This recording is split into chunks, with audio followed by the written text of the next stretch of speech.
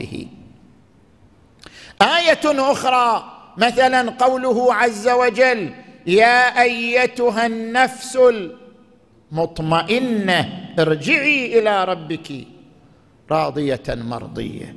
إحنا عندما نأخذ الوصف مطمئنة الاطمئنان وصف مو علم ينطبق على كل من اتصف به.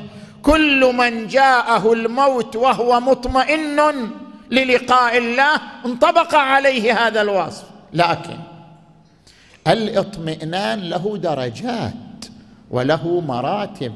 أعلى مراتب الاطمئنان أعلى درجات الاطمئنان. من الذي حازها؟ أية نفس حازت أعلى درجات الاطمئنان وقت الموت الذي هو وقت الرهبة وقت الخوف. وقت الموت. طبعا الإنسان يشعر بموته ولو قبل ثواني من موته.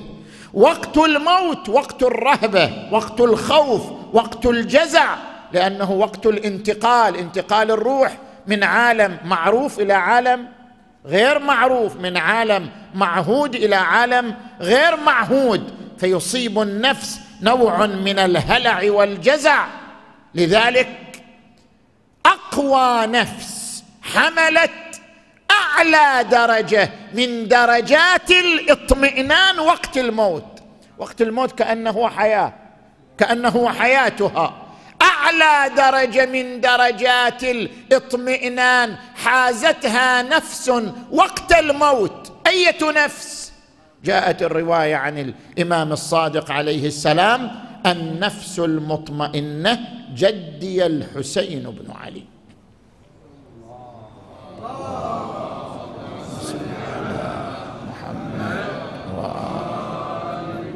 هذا تفسير مصداقي. مفهوم الاطمئنان واضح ينطبق على كل من اتصف به. لكن الرواية تريد أن تقول لنا أعلى درجات الاطمئنان تحلت بها هذه النفس القدسية نفس الحسين بن علي سيد الشهداء. صلوات الله وسلامه عليه وعلى آبائه وأبنائه الطيبين الطاهرين. من هنا